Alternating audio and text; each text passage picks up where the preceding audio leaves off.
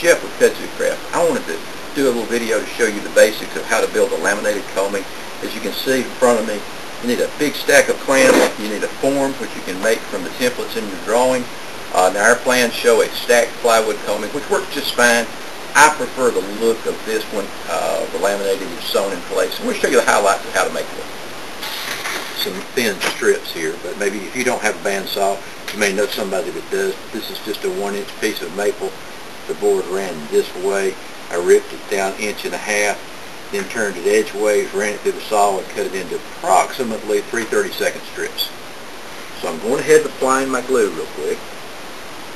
Using Titebond 3 waterproof glue. You can use epoxy. I don't have any problem with epoxy. It's just expensive and you Titebond works fine. You don't need epoxy on this.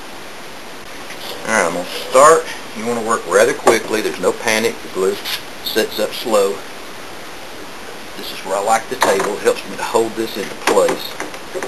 I'm going to butt that right up against the old one. My glue drip while I was moving the camera. I'm going to put up that in place and I'm just going to clamp it for a second with a spring clamp. Get it held in place, get it started, and make sure it stays flat. That's been one of my big problems. Uh, I'm going to need two or three clamps right there just to hold it. Again, this is temporary. I'm going to go back to the C-clamp there. Alright. Pull it around. Just watch for gaps. Put the clamps as you need them. The sides are not so bad. The curves are where you run into issues. Alright, now before I go any further, come right back here. I'm going to take a hammer, tap it down in place. And I put a block of wood in here. Keep from splitting because these C-clamps will put a good bit of pressure and you can split the wood. I've done it a couple times. I say I do something, it's usually because I've learned it the hard way. It's getting tight. I like to see a little glue squeeze out. Alright.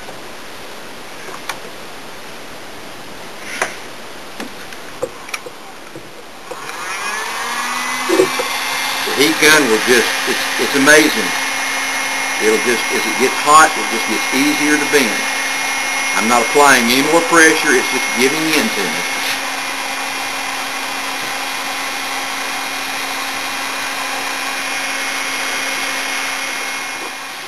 So you see the, the idea there.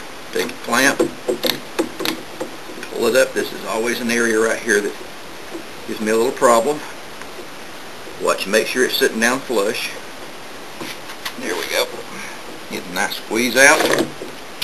Around. I'll go ahead and use these clamps here because I know this is an area that usually does not go well. Made it around the corner, the big bend, the little bend. Now we go to the big bend. I'll go ahead and apply some more glue. Need another clamp there. Pretty well. I'm going to put a little one right there in that gap. Just slowly bend it around. I'm using 8 foot strips and they do overlap the joint I made over here. So I'm going to have to, see that bending out? I'm going to have to take that loose and work it over it. Now I'm going to take this loose where I made that joint a minute ago. That's where we started. Go ahead and put a couple clamps before it. Get these after it, get one.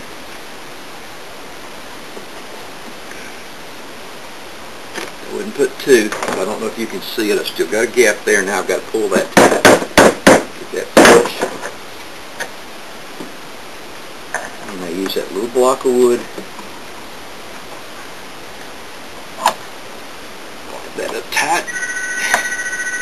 and just keep going all around.